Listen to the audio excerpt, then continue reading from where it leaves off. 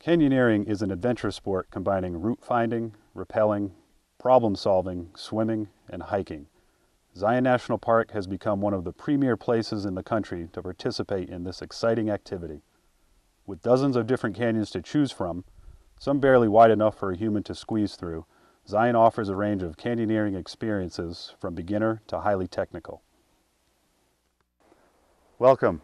My name is Craig Thexton and I'm going to introduce you to some of the common dangers associated with canyoneering in Zion. Ultimately, your safety is your responsibility and there is no substitute for planning ahead, bringing the right equipment, having the right skills, and using good judgment. Being smart will make the difference between having a wonderful trip, ending up in the hospital, or worse. Every week, canyoneering groups spend unintentional nights camped in the backcountry of Zion. There are many reasons for this, including difficulty finding routes, injuries, and flash floods. If you think these things can't happen to you, you're wrong. So as you pack for your trip, make sure you're prepared to spend the night.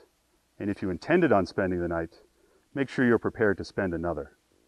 Every person in your group should bring extra food, clothing, water, and a headlamp.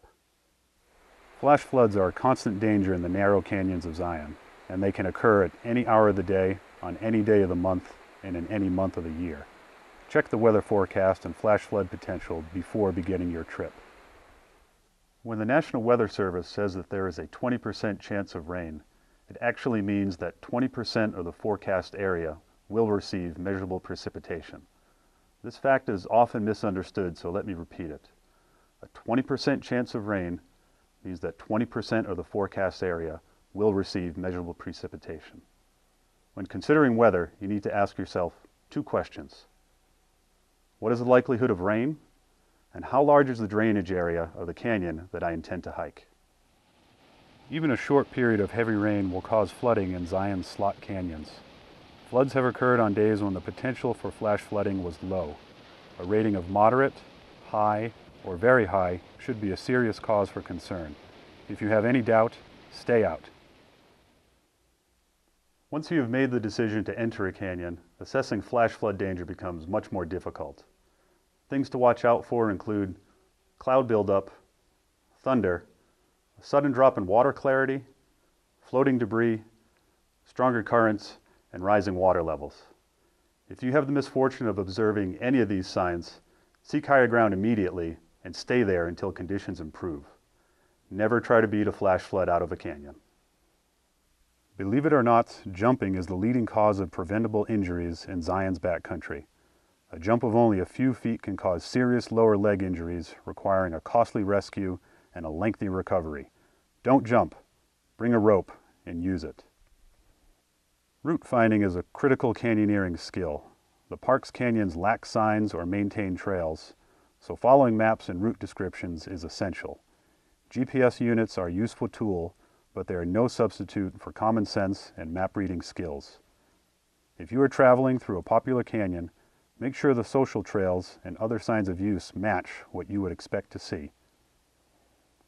Recognize that your first rappel is a critical decision point.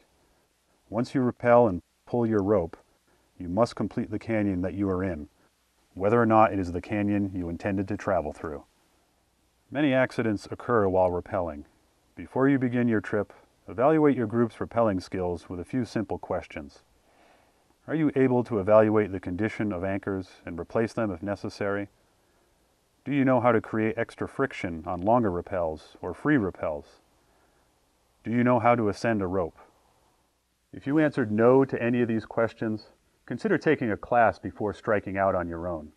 A number of organizations and outfitters in Springdale and the local area offer instruction on canyoneering techniques.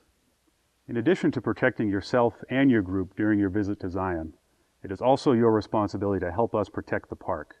So while you're here, show your respect for the park and your fellow visitors by observing the following guidelines.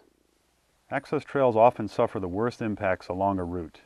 If there are several different trails leading into or out of a canyon, use the one that crosses durable surfaces like rock or sandy washes. Avoid walking on steep slopes and other areas that are susceptible to erosion. Large groups cause unacceptable impacts to the wilderness experience of others. Big groups are not permitted to split into smaller groups and visit the same canyon on the same day. Please keep your group size small and think about how your actions and behavior affects others. Prevent bottlenecks. If another group catches up to your party, find a convenient place to allow that faster party to pass. Avoid bolting. Use natural anchors whenever possible, and if you must place a bolt, do so so that it will last for many years and will cause minimal damage to the rock during rope pulls.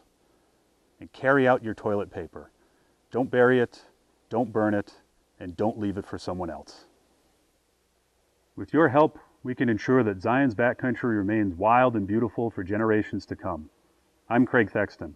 On behalf of everyone here at Zion National Park, I wish you a safe and enjoyable visit.